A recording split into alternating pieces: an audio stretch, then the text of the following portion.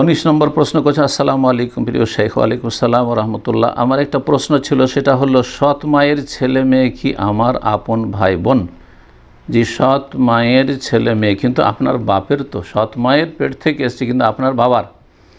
আপনার বাবার যদি জন্ম দেওয়া হয়, তাহলে বই বইমাত্রীয় এখানে স্পষ্ট করেননি, যদি সৎ ভাই বোন হয়, তাহলে তারা আপনার ভাই বোন তাদের সাথে রক্তের সম্পর্ক আছে আপনার বাবার দিক থেকে।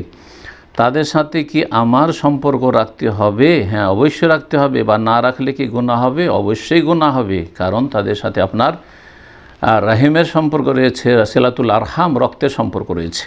সুতরাং তাদের সাথে সেলাতুল আরহাম করতে হবে। হ্যাঁ আপনার সৎ মা আপনার বাবার সাথে বিবাহ বসার আগে অন্য কোথাও বিবাহ হয়েছিল আর তার থেকে যে ছেলেগুলো হয়েছে আপনার সাথে না বাপের দিক থেকে শরিক, না মায়ের দিক থেকে শরিক। মাও আলাদা, বাবা আলাদা, তাদের বিষয়টি ভিন্ন।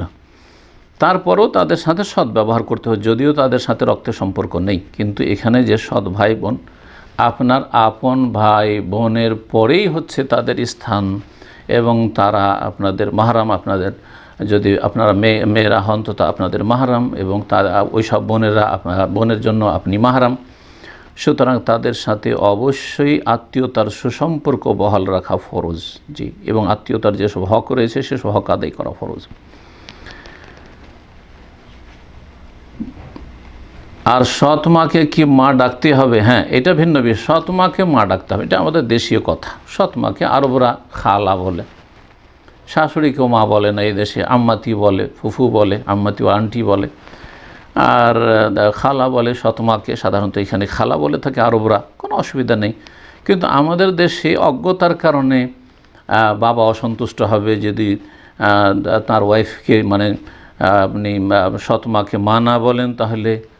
আর তারপরে আপনার সমাজেও লোকেরা বলবে যে বেয়াদব ছেলে আছে, বেয়াদব মেয়ে আছে, তার সৎ মাকে মা বলে না। কিন্তু এগুলো দেশীয় কথা, এগুলো কোরআন হাদিসের কথা নয়। আপনি ভালো আচরণ করতে হবে, এটা অবশ্যই। সৎ মায়ের সাথেও ভালো আচরণ করতে হবে, কষ্ট দেওয়া চলবে না, এমন কোনো আচরণ করবেন না, এমন কোনো কথা বলবেন না যাতে সৎ মা কষ্ট পাবে বা যে কোনো মানুষ কষ্ট পায়। আল্লাহ বলছেন যে ওয়াফ আলুল খাইরা জনকল্যাণমূলক কাজ করো। ওয়াকৌলিন্না আছে হোসনা যে কোনো মানুষের সাথে ভালো কথা বলো। যে কোনো মানুষ, অমুসলিমের সাথেও কাফের সাথেও ভালো কথা আল্লাহ বলতে বলেছেন। এগুলো হচ্ছে কোরআন করিমের কওয়ায়দ বা নীতিমালা।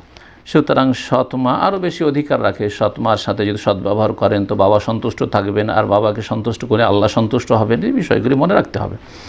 কিন্তু সৎমাকে মা বলতেই হবে, এমন কোনো কথা নেই। আর যদি মা বলেন শ্রদ্ধার জন্য, তাও কোনো দোষের কথা নাই।